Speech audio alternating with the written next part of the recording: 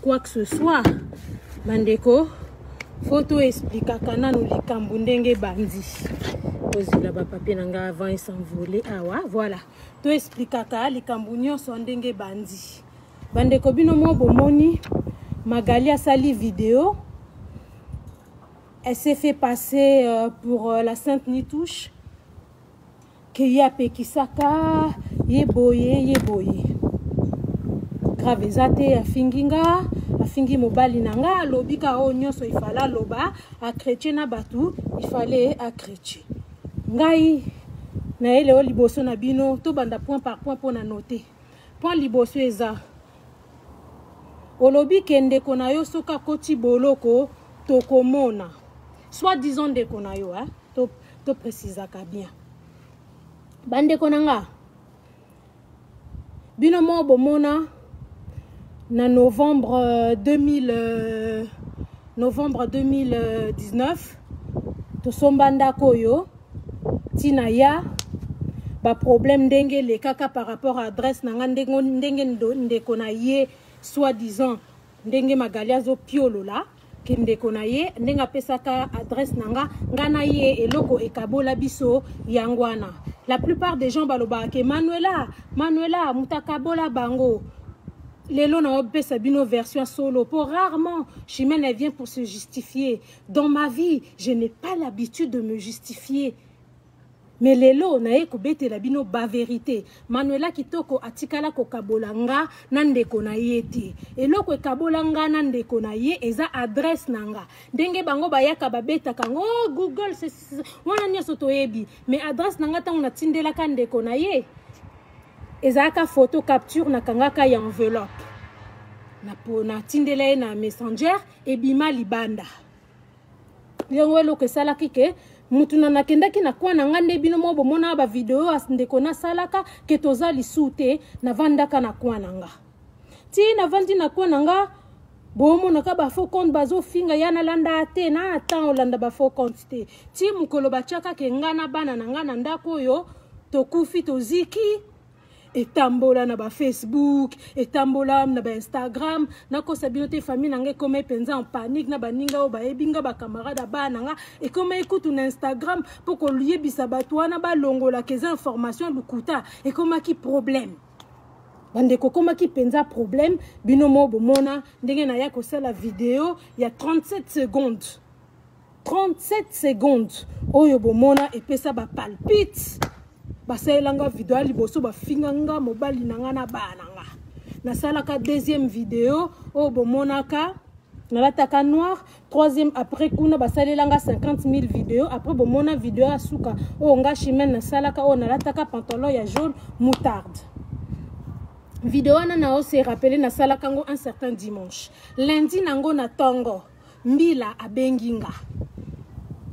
eh, namonaka numero moko afixe eh, ebengi nga na ba 9h30 boye tozalaka na mobali na nga na periode ya confinement tozalaka na mobali na nga na salon tovandi boye namoni numero moko afixe ezanga nkombo ebengi nga nayambi allo bonjour bonjour madame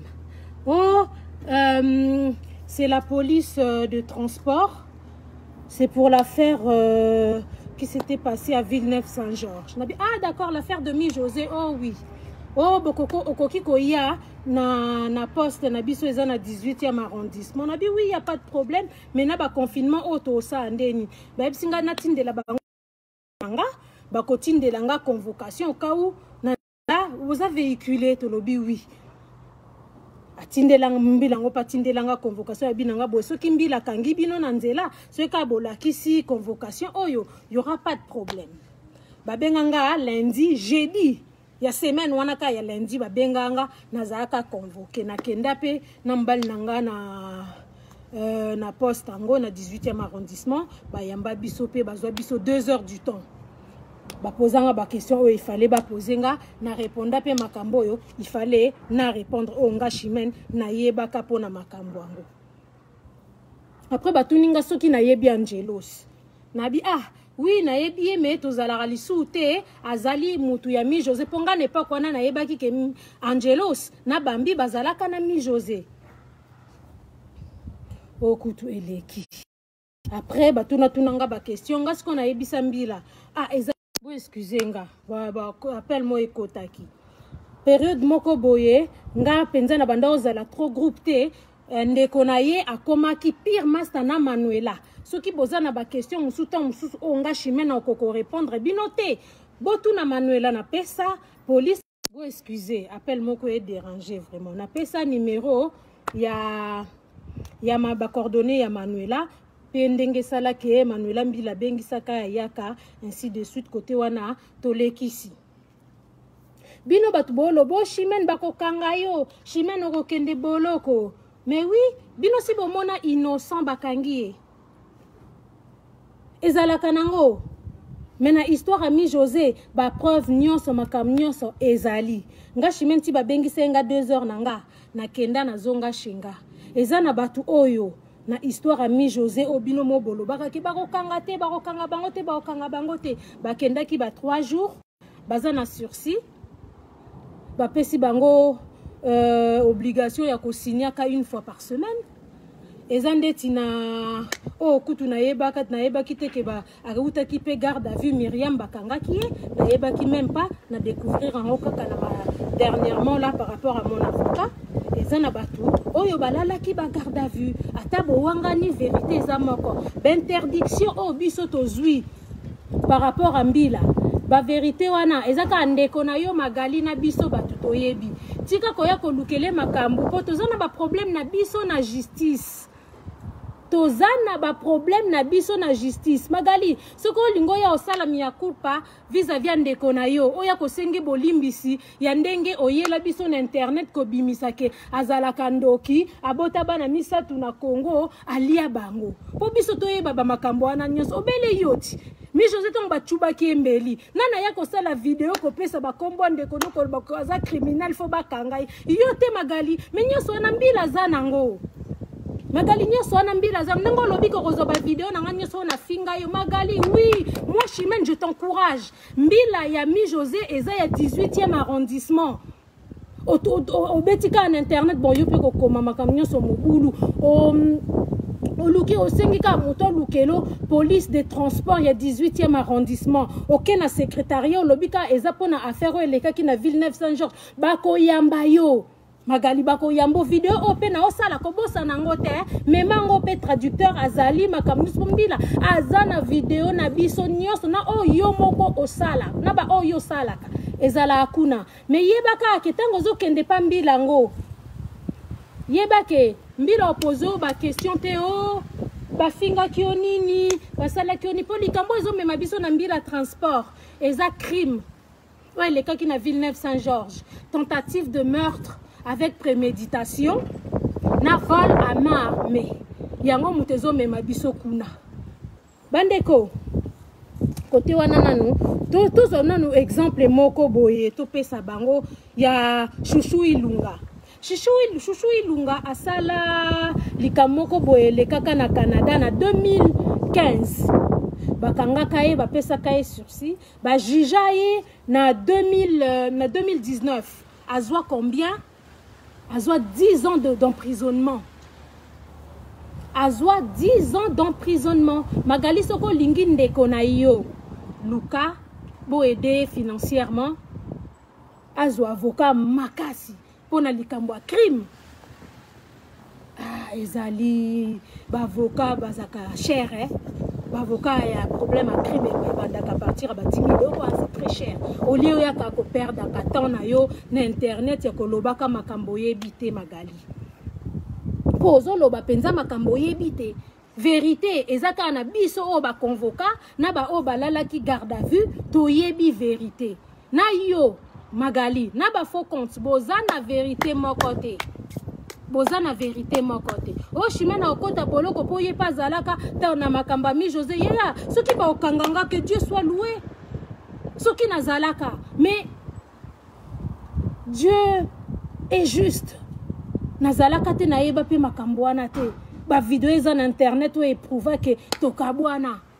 bomoni ata bolobi ata bokomi ata bosali oyo nyonso bino bozomona ke bokosala mpo na chimene nalala bien nga aza criminel te naza mpe na sursi te naza bien ezalaka ata mosusu comme tribunal ya mi josé ekozala la année prochaine ezalaka ata mosusu baconvoke nga na kati ya tribunal devant bino nyonso batangeli nga procès verbal na nga batuni nga na ochange eloko te bazongisi nga na bana nga nakei vanda apres nakozonga shinga mais eza na bato oyo mokolo wana bakozongaka te kote wana kutu nayeli makambo wana te toleka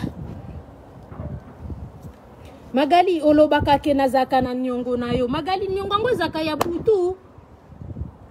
niongo yango ezalaka ya butu to na moi ndeko na voice deja si na publia te ndeko na yo deja sa aloba makambo ya mbongo ke ye moto aza na mbongo na yo akopesa yo magali okasi eloko ya 200 euro nazwa kutu biloko nyonso ya 1000 euro na futa yo yo moko mpo obimisa na monoko no chimie na futa ya bien magali nakezwa eloko nyonso ya 200 euro naketeka ngo siko mpo nga chimie naganie nini hein? mpo nga sikoyo chimie naganie nini ah, magali namoni mayele na yo na, na molai na yo nyonso ekangama na masoko e eh. nyonso ekangama awa na masoko magali e eh, oza lokola soso magali oza lokola soso bandeko avo kutu nao na bandenga toke susu na histoire ya rando bino moko bomonaki rando euta koleka wa dernier euta koleka fo bacuba mi josé mbeli ntango boomona mi josé aye afingi chimene mi josé aye afingi ndeko soit disant ndeko na ye mijo ye mijo za ye afingi manuela me lelo magali asi permettre asala video ke ye te moto abandaki kotinda me magali moto atinda mi josé euh, afinga nga na ndeko na yo na manuela me eza yo te mi josé akufi te bandeko soki likambo nazoloba nazokosa mi josé aza vivante mi josé nana akufi te mi josé ayebi makambo nazoloba mpo oyo nazoloba jose ti makali oyo afongola monoko na yo ozoloba ke famille ya mi josé te motu baporta plainte ke eza eh, mi josé te motu aporta plainte ntango bacubaka ye mbele eza bandeko neme omona ke oza mayele te bandeko mi josé baporte plainte bacubi mi josé mbeli nde nini eza ye moko mi josé motu aporta plainte makali ozobeta bamasolo oyo oyebi te biso tokenda na mbila ana toyebi makambo toobeta ntango tobandaka kobeta yango a ah, manuela azobetela bino azobetela bino bobimisa a ah, manuela lokuta ti ati ah, ntango bakoma okende bagarde a vue nde ale silence ekomi ale bokomo ndima ya maa mingi ya mpo na bino ya maa mingi magali atinda bijo oza finga eba bino mo bomona na bavideo wana eh, ya fionton nabanda eh, ya magali olobi nini bino moko bolanda bomona video wana mutu abandaki kotinda mi josé amanke nga respect tobanda kozala na baproblème na biso e eh. baproblème na biso ebanda kozala interne ebanda oya libanda te timi josé se permete asala video afinga nga eza mpo yo magali mutu otinda mi josé afinga nga ozoya pe kolinga komibimisa ndeti ser ser en christ magali oya ndoki po alukuta oza ndoki mpo oza lokuta telema bomonaka ke chimene alobaka te ayaka kose justifie te makambo nyonso bolobaka telema koya te ale elataka chimene na tour oyo moto akoleka te moto nyonso oya okosa likambo na nkombo na nga nakoya koloba nakoya koloba mpo naa mpe na motu apesa ngai interdiction ya kosala video te mpo ntango naye osala video boye soki nazalaki na interdiction nde naye te nde naye te magali ebemba mama na yo magali ebembe ya mama bandeko avant nafinga ye tozonga lisusu naolinga na explike bino prando na ngai na magali ebanda depuis 2015 mpo magali ayaka kobimisa sainte ni touche bino boye bino boye bino boye ye sainte ni touche ngai na 2016 nakolakisa bino yango ntango mosusu nakobambela bino yango na mire na yango bie ntango mosusu manuela akotyela bino yango nabimisa kindumba ya magali na combat na 2016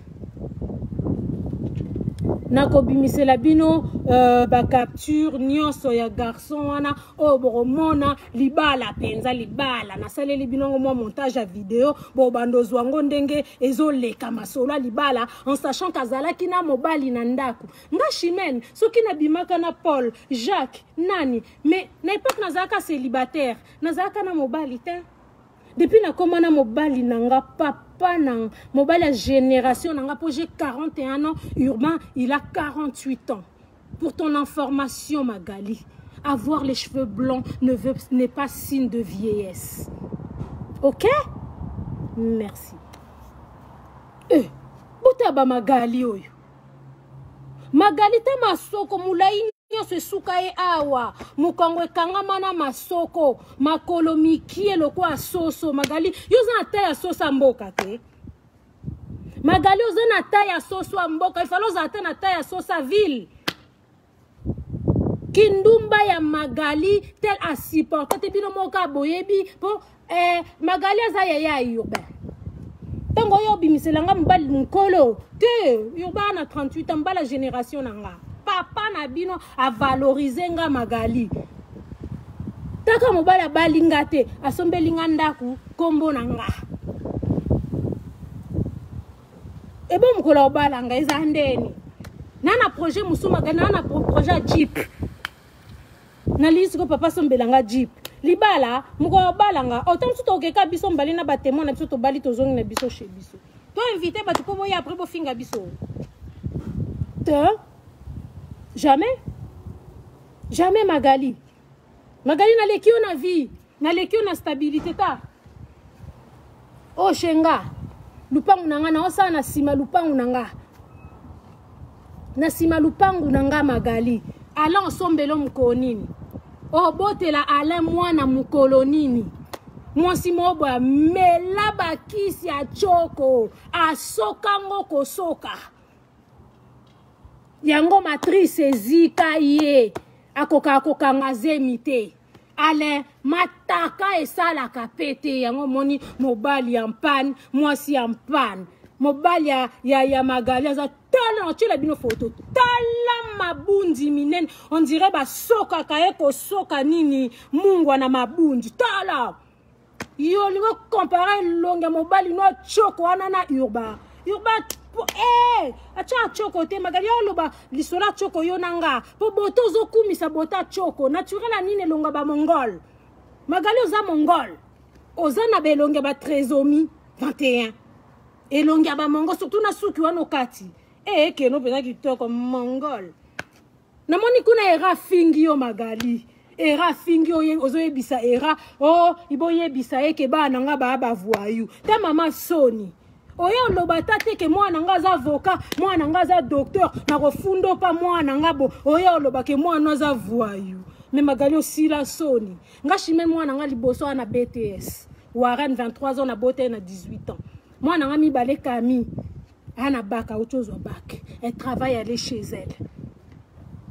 magali yo eloko nini okosala na vie oyo ekoimpressionne nga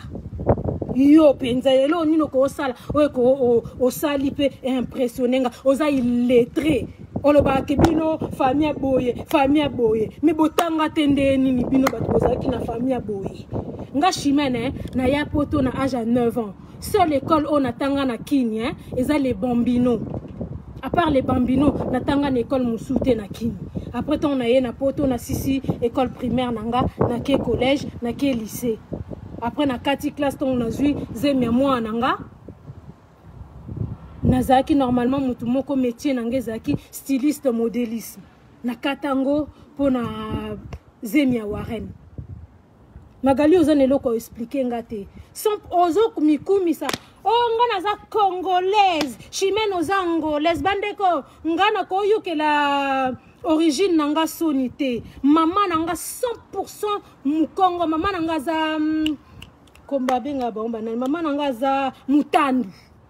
papa na nga 100% angolais naza 50-50 magali ntango yo ozoloba chine na angolaise yeke epikola na oyo barwandais oyo bavandeli yo kuna na congo oyo olingi opikula 50 chine magali kepikola no ya barwandais oyo bavandeli yo mpenza na congo kuna kikombatant yango osala yango ka ovandi na liboso ya kamera na maboko no wana mikuse cekecekecekeceke ozoloba cekeceke mosila soni oyebi okoma te magali ngai naza na ngai moitie na ndimi me lingala nakoma yango bien lingala na ngai nakomaka yango bien mais yo sikoyo moto oza 100 congolaise tu sais pas écrire tu sais pas lire toloba français te mpo boya olobo to mosusu français eza langue na biso te magali lingala oyebi okoma yango te mutu nyonso oyo aza a na direct azolanda ayebi ke magali aza illettre magali oza illettre oza inculte oyebi okoma te nani ayebi yango te o oh, nga na ye bana nga nasala makambo ebele na congo yo magali nga chimie nazalaka na association bandeko soki bobeti grand cœur pour l'afrique bokemona baaction nyonso oyo chimene na grâce ya association na ye esala na congo soki na natika kutu te nalalisa nano association na nga mwana standby epema mpo tozalaki na projet ya ndako oyo yango esalaki ke nadozaki makambo na nga association nazozela nabandaki formation na janvier ya aide soignante non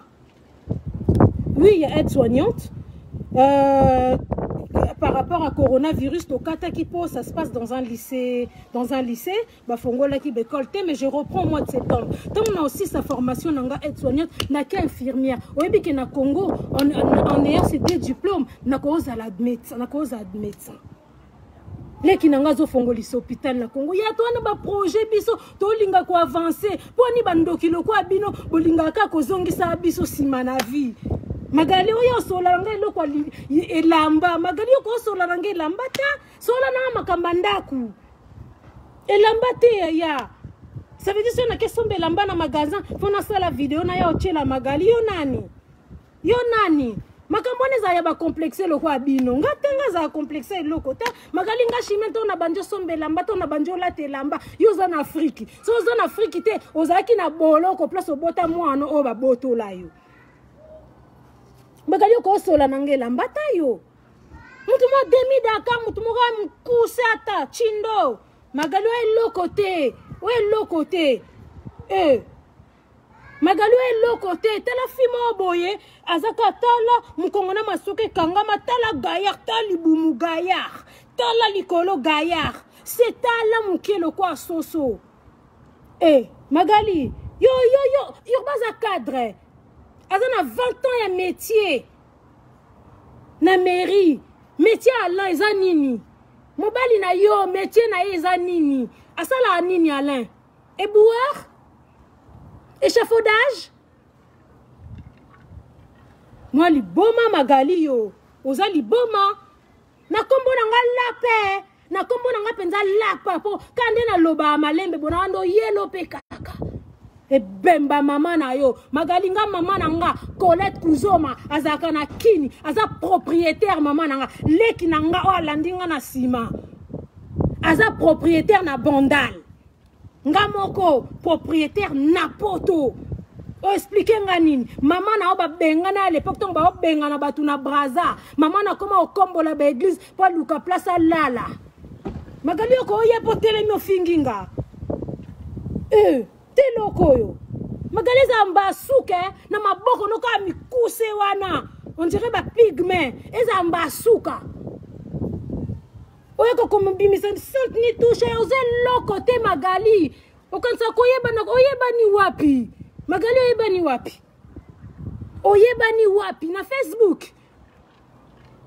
soit disant mwasi ya libala akendaka ba londres un mois deux semaines trois semaines mwasi ya libala ye ozala mwasi ya libala te si obengana alo oyebisaka bango te camarade na yo vase ayaka obetela nga lisolo oyo oh, tata ano shinaka na belgique wana okoselaka oh, ko ana zemi oshinaka ye mbongo tata wana aya kosenga yo ozongisela ye mbongo noza lukuta azalaki na mposa oyo oyoki so soni na internet obenga vase mpo vase abomelo moto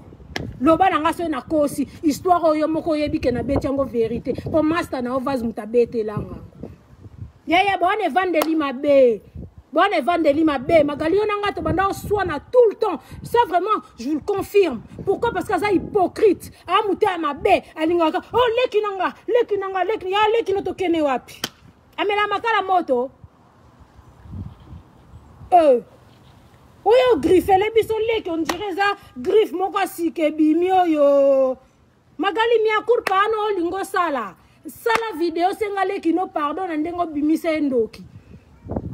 bandeko leo moko kutu nalingai nabosana boyebi ti magali ezoloba ke mm, abandaki kopekisa mi josé histoire na obetela bino sikoyo eza eza ntango mosusu 5 jours ou une semaine avant bacuba mi josé mbeli na ville 9 saint georges magali asala conférence milolo euh, nani mi josé peti na nga mi josé